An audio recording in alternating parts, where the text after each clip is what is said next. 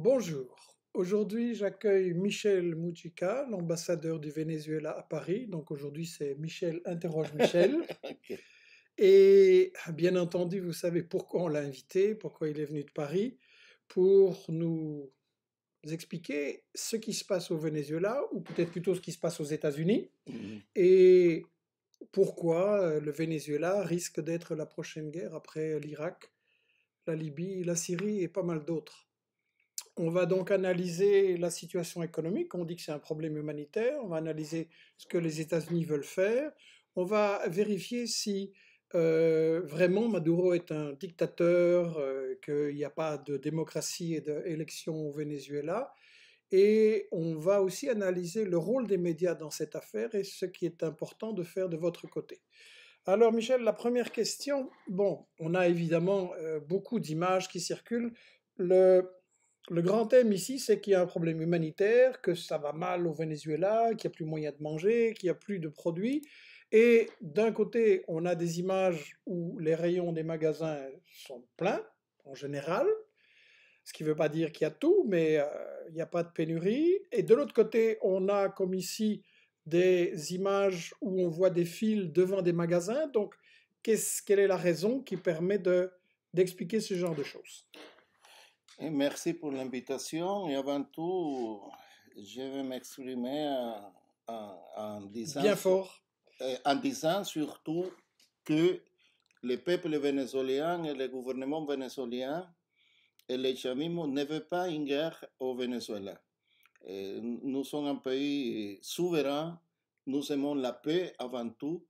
Et c'est une partie de ce qu'on voit dans les magasins, les supermarchés, on trouve tout, ou presque tout, mais à des prix s- en- euh, euh, énormément élevés, des prix vraiment euh, sidéraux. Une, une inflation. Et Donc, cette inflation, la grande partie de l'inflation, c'est une inflation indue. j'ai une image là-dessus où on voit effectivement que pour payer quelques tomates, on a besoin de sortir plein de billets. Oui, Comment expliquer euh, ce paradoxe? C'est c'est une attaque contre la monnaie qui vient depuis euh, longtemps. C'est une attaque monnaie où on fixe depuis les États-Unis, depuis l'État de Floride et depuis Cúcuta en Colombie, le prix de la monnaie par rapport au dollar, euh, le prix de la monnaie vénézuélienne. Mais comment ça se fait qu'ils ont tant de pouvoir sur la monnaie? Le Venezuela n'est pas souverain pour sa monnaie? Et nous, nous sommes souverains, mais on essaie à tout prix de combattre eh, une guerre économique. C'est l'attaque par la monnaie d'une façon, et aussi les sanctions économiques qui empêchent le Venezuela d'acheter des produits de base, des produits alimentaires et des médicaments à l'étranger. Il faut rappeler que le Venezuela importe beaucoup de sa sûr, nourriture et de ses euh, produits oui, de, oui, de mais l'étranger. C'est Venezuela, 70 ou 80% Euh, Oui, c'est ça le problème de Venezuela, c'est un- c'est un- c'est l'un des problèmes d'un pays pétrolier où la plupart, et on ne peut pas les changer d'un moment à l'autre.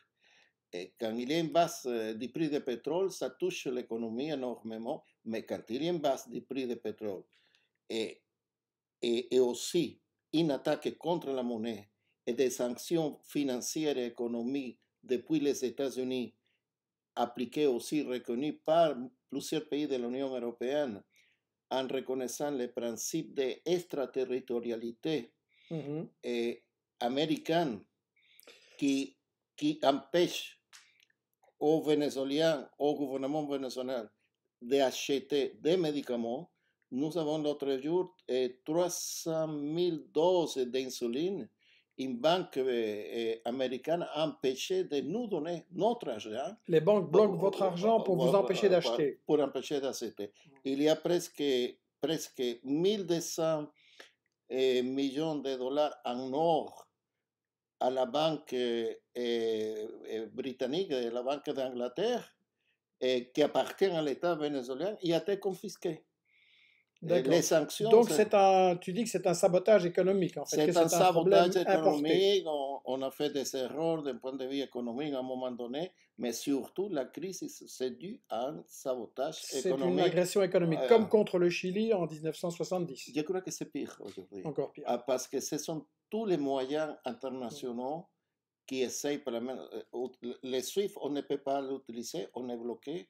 on ne peut, euh, la seule façon, c'est petit à petit sortir de l'hégémonie Mhm. du dollar. Tu viens de dire qu'il y a des erreurs qui ont été commises sur le plan de la monnaie, de l'économie. Ça veut dire que c'est quelque chose qui se discute aussi dans le camp des chavistes. Qu'est-ce qu'il faut C'est- faire contre oh, une non, agression non, comme euh, ça On, on discute euh, au sein du chavisme des erreurs, euh, des erreurs qui ont été commises. Mhm. On discute aussi à propos de sortir de la crise, mais comme nous sommes affrontés à une guerre sans pitié, sans pitié euh, euh, auprès de nous, mais pas- pas seulement le chavisme, c'est contre le peuple vénézuélien. Michel, je vais te donner un exemple. L'autre jour, euh, l'ambassadeur Brownfield, qui était ambassadeur euh, en Colombie aussi au Venezuela, il a eu un bref entretien. Il a dit Nous allons chier l'économie vénézuélienne. On va appliquer plus de sanctions. Si, c'est, mais c'est très dur parce que les sanctions, le journaliste l'a l'a demandé la question, va toucher surtout c'est au peuple vénézuélien. Peu importe, et peu importe que la récupération de l'économie peut durer très peu de temps ou plusieurs années, mais il faut appliquer plus de sanctions pour éradiquer d'une fois Donc, pour dans leur toutes, propre déclaration, on prend la population en otage. pour éradiquer d'une fois pour toutes le chavisme. Bien. On va euh, examiner maintenant en quoi consiste le danger de guerre et le danger d'intervention. On a ici une euh, image où on voit euh, des euh, troupes militaires des États-Unis qui veulent débarquer, qui veulent intervenir au Venezuela avec l'idée d'apporter de l'aide humanitaire. Qu'en penses-tu? C'était une farce, exactement. Une farce. Oui, c'était exactement d'utiliser l'aide humanitaire, l'aide humanitaire sous prétexte de l'aide humanitaire pour intervenir militairement au Venezuela. C'est pour Ils faire des provocations. C'est une provocation qui a été faite depuis la frontière colombo-vénézuélienne. Alors, juste, j'interromps. Justement, on a eu des images très spectaculaires d'une vingtaine de camions d'aide humanitaire qui venaient euh, au Venezuela. Je ne sais pas si pour euh, euh, plus de 26, 27, 28 millions de Vénézuéliens, ça va, quelques camions vont changer la chose. Mais en tout cas, on a vu un camion incendié. Est-ce qu'il y a moyen de- d'expliquer euh, qu'est-ce qui se passe, qu'est-ce qu'on voit là sur cette photo? Le, le- le camion était incendié. et le, le- le camion était incendié, je vois la photo, a été incendié du côté colombien, du côté de la frontière colombienne. Donc assez sur- loin des troupes sur- du Venezuela. Oui, sur le territoire colombien, avec des groupes violents, la plupart vénézuéliens et je présume aussi colombiens, qui ont incendié ce camion en lançant une, une bouteille de une bombe euh, Molotov. Et C'est-à-dire que c'était un scénario préparé pour que l'aide humanitaire serve de prétexte en disant voilà, Ouais. Maduro refuse et maintenant on va rentrer dans le pays, c'est ça? Il y a une déclaration très importante, deux déclarations. La première de Insulza, l'ex-secrétaire général de l'Organisation des États américains, qui a dit que l'aide humanitaire au Venezuela, c'est un prétexte parce que ce qui intéresse, c'est utiliser l'aide pour des fins politiques. Et même eh, le président de la Croix-Rouge eh, internationale eh, en Colombie, il a, dit ce n'est pas le moyen pour transmettre une aide humanitaire. Il y a des canaux qui se trouvent au sein des Nations Unies. Programme mondial alimentaire, eh, Mhm. eh, existe aussi la Croix-Rouge internationale, et nous pouvons nous mettre d'accord pour trouver les médicaments. Nous allons les payer, mais c'est la façon que les médicaments puissent arriver au Venezuela parce que ils essayent de, de crever l'économie vénézuélienne. Est-ce que vous êtes les seuls à dire que cette histoire d'aide alimentaire c'était une provocation ou est-ce qu'en Amérique latine il y a aussi des gens, euh, pas forcément pour Maduro, mais qui ont dit que c'était une blague? Eh, L'a dit Alfred Sayas, Mhm. que c'est un rapporteur spécial de- du Conseil des droits de l'homme indépendant à propos de l'aide humanitaire au Mhm. Venezuela. Et le problème, ce n'était pas un problème d'aide de, d'aide humanitaire, sinon un blocage terrible contre l'économie vénézuélienne Mhm. pour provoquer une, une crise, un mécontentement de la population vénézuélienne qu'il pensait que pouvait se traduire en bénéfice politique pour renverser le président Maduro qui était légitimement et légalement élu. Mhm. Alors, j'ai une citation ici qui est intéressante d'un haut responsable du ministère des Affaires étrangères qui, des États-Unis qui confirme ce que tu dis, je cite, Les sanctions financières que nous, États-Unis, avons imposées au gouvernement vénézuélien l'ont contraint à ne pas rembourser à la fois la dette publique extérieure et celle de la compagnie pétrolière. Mhm. Nous assistons à un effondrement économique total. Notre politique fonctionne, notre stratégie fonctionne et nous continuerons de l'appliquer aux Vénézuéliens. Donc c'est la guerre économique pour c'est que la la- population se retourne contre le gouvernement. Oui, c'est ça la, la- la- Alors, il y a une question de Fatima que je prends là maintenant qui dit, euh, par rapport à ce que tu as dit, pourquoi n'avez-vous pas eu une politique d'autonomie alimentaire? La politique d'autonomie alimentaire parce que le Venezuela, pendant 100 ans, progressivement est sorti d'une économie euh, agricole euh, qu'avant, euh, jusqu'à 1920, euh, par exemple, les, les exportations de café, de cacao dépassaient les exportations de pétrole, mais petit à petit, le Venezuela s'est installé les grandes euh, compagnies pétrolières, comme à ce moment on parlait de, de sept serres, et Mhm. se sont installés pour créer une, Exxon, euh, Shell, ouais, BP, une économie d'enclave une Oui. économie d'enclave et c'est la, euh, la façon de contrôler et de gérer une économie qui était, on, Mm. peut, on, peut dire, néocolonisée. Donc tu me dis que en fait c'est un résultat de, du système avant Chavez et de l'influence des Ouais. multinationales des États-Unis qui, et ça on l'a vu dans d'autres pays, et on le voit bien expliqué dans ce livre que je vous recommande, Eduardo Galeano, euh, Les Mm. veines vertes de l'Amérique latine, la meilleure manière de contrôler un pays qui ne puisse plus euh, imposer des prix, défendre son peuple, c'est qu'il soit mono-exportateur, c'est-à-dire qu'il Mm. dépend entièrement d'une matière première ou d'un produit euh, agricole d'exportation et qu'il n'ait plus de diversité. Donc tu penses, tu, tu nous dis que c'est un effet du colonialisme et en même temps, c'est pas un problème facile à régler. Non, mais nous sommes obligés de le régler. Mais le grand projet du chavisme était l'unité des pays des nations latino-américaines, et pas seulement sur le plan politique, sinon sur le plan économique. Et nous sommes obligés de le faire. Il y a un moment que, qui se trouve euh, un moment de- des attaques euh, contre les projets, parce que les projets américains, c'est- n'est pas seulement une recolonisation du Venezuela, le contrôle des ressources en hydrocarbures. Ça, c'est vrai. Oui, Parce que c'est Bolton qui l'a dit. oui, oui. C'est le même M. Trump qui a dit nous voulons 50% des réserves pétrolières vénézuéliennes. Et c'est ça le crime de Chavez, c'est qu'il a récupéré le contrôle sur le pétrole, Et- et il n'a pas arrêté de faire Non, du, du commerce, et- l'autre grand crime de. Chavez qui était, il a fait le partage le plus radical de la rente pétrolière dans toute l'histoire républicaine vénézuélienne Mm. depuis des cent ans, en rescatant de la pauvreté et de, de grands pans de la échapper à la population, pauvreté population. éducation, santé, logement, etc. Voilà. Et en faisant un peu Pour ceux qui digne. sont intéressés de connaître cette histoire et qu'est-ce qui s'est passé avant euh, les semaines et les mois actuels, j'ai expliqué ça dans un livre, Les sept péchés d'Hugo Chavez, qui analyse les causes de la pauvreté de l'Amérique latine en général, du Venezuela et pourquoi Chavez effectivement est devenu un, un criminel pour euh, les Mm. banques et Mm. les multinationales. Bon, on va euh, en venir à Guaido, euh, le nouveau président euh, vénézuélien, paraît-il, selon Washington et aussi selon beaucoup de pays européens, ici avec Pence, le vice-président des États-Unis.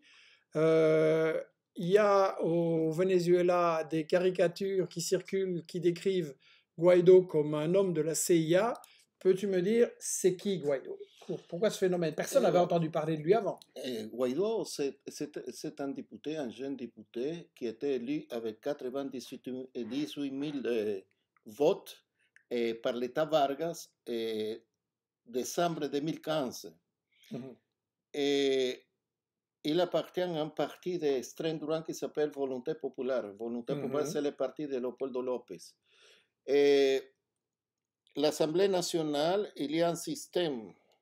Chaque année, il nomme un nouveau eh, président de l'Assemblée. Ce sont des accords par les partis de l'opposition qui ont la majorité à l'Assemblée nationale. Ah tiens, ça c'est intéressant parce Mm. qu'il paraît que euh, c'est une dictature de Maduro et tu me dis qu'il y a des partis d'opposition qui ont une majorité euh, à l'Assemblée nationale, Oui, ce qui oui. veut dire que pour un dictateur, il n'est pas très Oui, efficace, il n'a pas réussi à truquer l'élection c'est une dictature sui generis où il y a des, des gouverneurs qui appartiennent aux forces de l'opposition. Le- eh, la- L'Assemblée nationale a la majorité eh, au sein de l'Assemblée nationale. il y a une presse qui tous les jours dit n'importe quoi contre le président Maduro. Mhm. Et même quand il y a eu l'attentat le 4 août, si je ne me trompe pas, 2018, euh, et le magnicidio contre, frustré contre Maduro, et la presse a commencé à se moquer même de Maduro. Il y avait le silence des médias internationaux à propos euh, Oui. du magnicidio frustré. Aucun pays de l'Union européenne a émis un communiqué en solidarité avec le président Maduro. Alors, euh, on nous dit du côté des États-Unis que le but, c'est de défendre le peuple vénézuélien qui aspire à la démocratie. C'est ce qu'on dit aussi à Bruxelles, à Paris, à Londres, etc. Et j'aimerais qu'on fasse un petit flashback pour voir si ce thème de propagande est nouveau ou s'il a déjà euh, été utilisé. Et donc j'ai amené une image où on voit, euh, je rappelle pour les plus jeunes, qu'il y a eu un coup d'État, il y a eu beaucoup de tentatives, mais il y a eu un coup d'État militaire en 2002 qui a renversé le président Chavez, il a failli être tué, il a été sauvé parce que le peuple est descendu dans la rue pour le défendre, et on voit cette image ici maintenant, euh, Chavez euh, libéré euh, et ramené à Caracas. C'est vraiment des, millions de gens qui sont venus et qui ont entouré le palais présidentiel des putschistes. Et là, à l'époque, j'ai été rechercher la déclaration du secrétaire de presse de la Maison Blanche, donc c'était Bush à l'époque, fils Bush, disait déjà le peuple vénézuélien se soulève pour défendre la démocratie. C'est comme ça qu'il décrivait le coup d'État militaire. Et euh, il a reçu un démenti euh, dans les deux jours, puisque le coup d'État a été, comme disait Chavez en rigolant, le coup d'État le plus bref de l'histoire. Donc, euh, un commentaire sur cette idée que les États-Unis vont amener la démocratie au Venezuela? Jamais les- États-Unis ont amené la démocratie. Pas au Bien fort Venezuela. pour... euh, Jamais les. États-Unis ont amené la démocratie, Mm. soit au Venezuela et à aucun pays d'Amérique latine. Ni au Brésil, ni en Argentine, ni au Chili, ni à Ils l'Équateur, ont même plutôt renversé des renversé le gouvernement démocratique pour amener des au Guatemala avec Jacobo Arbenz. Et ils ont encerclé aussi l'économie mexicaine à un moment donné. Ils ont pris la moitié du territoire Mhm. euh, mexicain. Il faut rappeler Euh, que les États-Unis ont déjà fait 68 interventions militaires dans les États d'Amérique du Sud. Non, et le plus important qu'il faut dire à propos Mhm. de Guaidó, c'est qu'à différence, avant, eh, eh, les États-Unis se trouvaient à l'arrière-plan de Mhm. l'opposition vénézuélienne. Qui est aujourd'hui eh, l'avant-garde de l'opposition vénézuélienne C'est Donald Trump, Mike Pence, Elio Abrams, eh, Mike Pompeo et Marco Rubio. Donc, on a vraiment raison de présenter euh, Guaido comme une petite marionnette. marionnette. Une marionnette. marionnette. Bien. Alors, euh, je voudrais venir à un autre thème, c'est que on nous dit que le peuple vénézuélien réclame le départ de Maduro, mais il y a une chose qui me frappe, c'est que jamais on ne montre qu'à Caracas, il y a des manifestations énormes pour Maduro, des manifestations chavistes, avec beaucoup plus de gens que les manifestations pour Guaido ou à d'autres moments sur l'opposition. Et euh, j'ai ici une photo parmi énormément d'autres manifestations beaucoup plus grandes. Comment expliquer ce silence des médias internationaux? Le silence est pour montrer, entre guillemets, la faiblesse du président Maduro. Ça, Mhm. c'est important. D'un autre côté, il s'essaye à tout prix de ne pas montrer l'appui qu'il a le peuple vénézuélien au gouvernement Maduro. Il y a des mécontentements, ça s'est généralisé Mhm. dans toutes les sociétés. Mais une chose, c'est avoir des mécontentements pour la crise des médicaments, pour l'énormité des prix des produits de première nécessité qui sont très élevés. Et une autre chose, est essayer d'appeler les États-Unis pour intervenir militairement au Venezuela ou appuyer la- la- l'opposition. Non, non. Et cette opposition violente d'extrême droite, guidée exactement par les États-Unis. Oui. euh, par rapport à ce thème de Maduro euh, dictateur et qu'il interdit euh, les opposants aux élections, je voudrais quand même montrer ici euh, comment fonctionne le système électoral vénézuélien? On voit ici des gens qui vont consulter les listes des euh, candidats pour voir pour qui ils vont voter. Et je voudrais rappeler que les élections vénézuéliennes ont été plusieurs fois contrôlées par le président des États-Unis, enfin l'ancien président Jimmy Carter, qui a une fondation qui a euh, contrôler des élections, je crois, dans 60 ou 70 pays, je ne sais pas, mais enfin c'est vraiment sa spécialité. Et il a déclaré ce qui suit, euh, je traduis, le système électoral vénézuélien est le meilleur dans le monde. Il a dit ça en 2012 parce qu'en fait, il y a un système qui est à la fois un vote électronique et un vote papier, les deux sont contrôlés et les observateurs internationaux de tout pays, et pas, pas forcément favorables, qui, des observateurs et des juristes, ont déclaré que la conformité était de 100% euh, entre le vote papier et le vote électoral. Je voudrais aussi montrer cette photo ici, parce qu'on nous dit le président Maduro a interdit à l'opposition de se présenter aux élections. Et ici, sur cette photo, on voit euh, Maduro à gauche, avec sa femme derrière, sous le portrait de Simon Bolivar, le père spirituel de la nation vénézuélienne qui reçoit des élus gouverneurs, je crois, de Action Democratica, qui est un parti d'opposition, qui n'est pas du tout d'accord avec Maduro, qui le critique beaucoup, qui essaie même de le remplacer. Mais donc, on a des choses, ça, ça ne se voit jamais ici dans, dans les médias occidentaux. Mais... Et jamais on va les voir parce qu'il essaye à tout prix d'essayer de voir une figure euh, totalitaire, autoritaire, et je crois qu'on peut dire n'importe quoi de, de, mon président, mais qu'il soit autoritaire et qu'on nie, qu'il y ait un déni de liberté formelle et substantive de, dans la société vénézuélienne, c'est pas du tout vrai. Il faut regarder, fait, jeter un coup d'œil à la presse euh, journalière vénézuélienne, les médias vénézuéliens, et les réseaux sociaux euh, au Venezuela et même euh, Oui, un, j'avais une un image président euh, autoproclamé. Je comptais en parler un peu plus tard, mais la voilà, je la commente pour euh, euh, traduire un petit peu. On a donc euh, des unes de journaux qui sont euh, presque tous aux mains du privé, et donc on parle d'un régime sourd, euh, à, à l'aide, on crie, euh, contre le mur de la tyrannie, euh, le dictateur Maduro répond avec le feu, etc. Maduro bloque l'aide au Venezuela, donc effectivement, et tout ça, c'est Maduro sans pitié, et donc tout ça paraît librement au Venezuela et n'est pas, n'est pas interdit. Donc, euh, parce qu'on nous dit aussi que c'est la dictature médiatique. Non, il y a plus, euh, et j'ai signé plus d'une cinquantaine de journalistes euh, français qui se trouvent aujourd'hui au Venezuela ou qui vont aller au Venezuela pour couvrir euh, directement sur place ce qui se passe dans mon pays. 50 journalistes français qui Oui, vont couvrir ça. Même plus, même plus. et, et entre nous, ils le couvrent bien? Hmm. Bon, tu es diplomate, donc tu dois, tu dois faire attention. Je Ça pas dépend de cette la, de la question, mais conscience de chacun, mais comme vous savez très bien, ce n'est pas eux qui décident, sinon tu veux dire que la Ligue a déjà décidé à Paris ce qu'ils vont écrire? Bien. Euh, je ne vais pas euh, mettre euh, plus longtemps l'ambassadeur dans l'embarras, mais chacun pourra réfléchir sur les médias. Bien. Une chose est sûre en tout cas,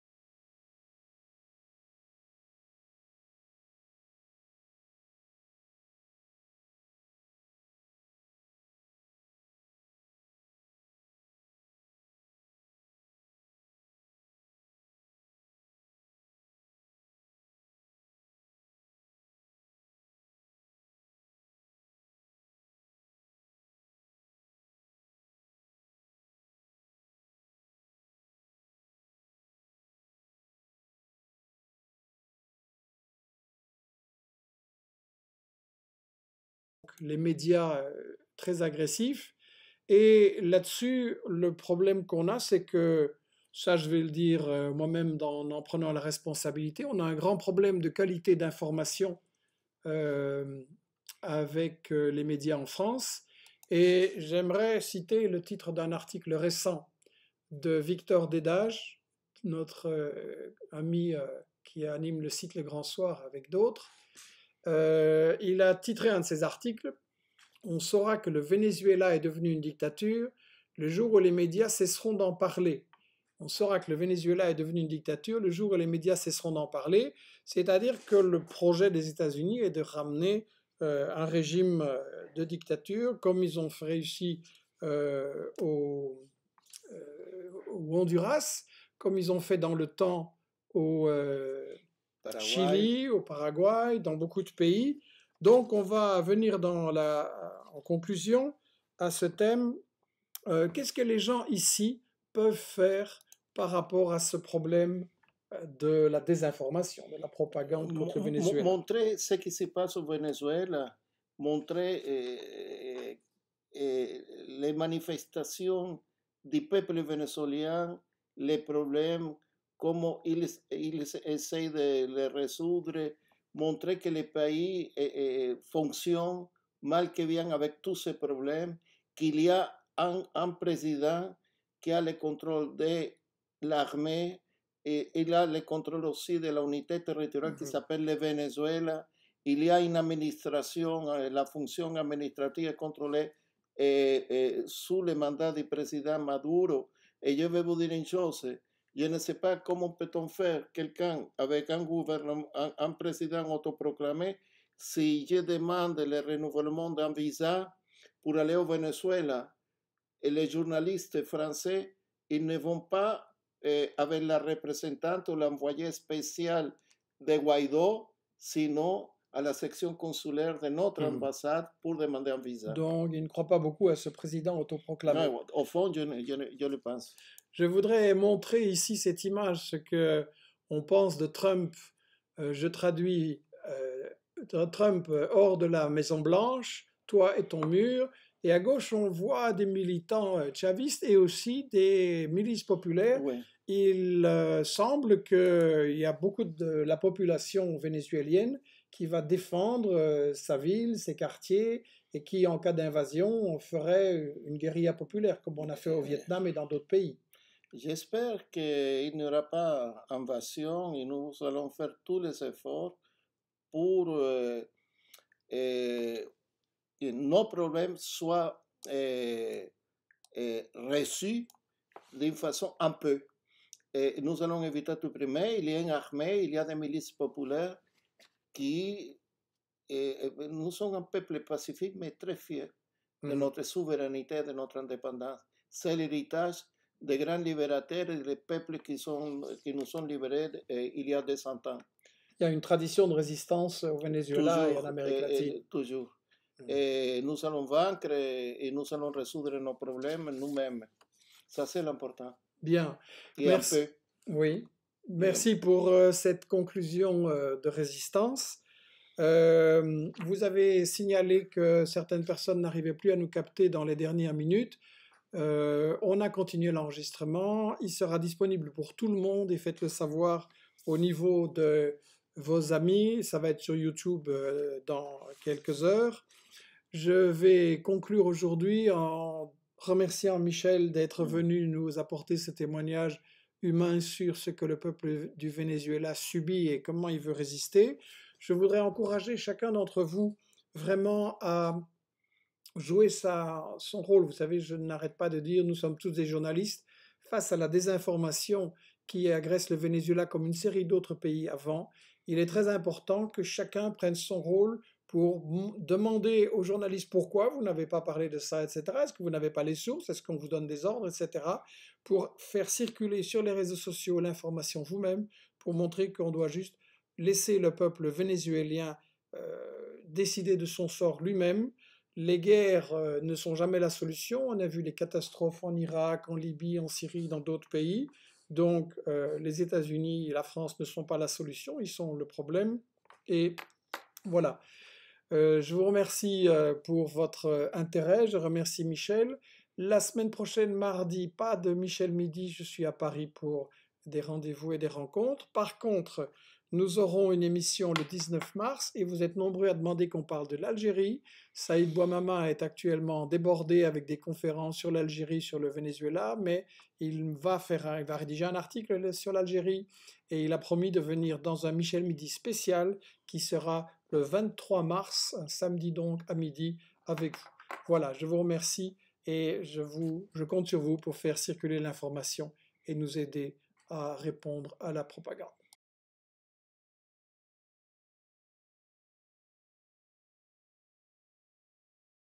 Voilà, ici.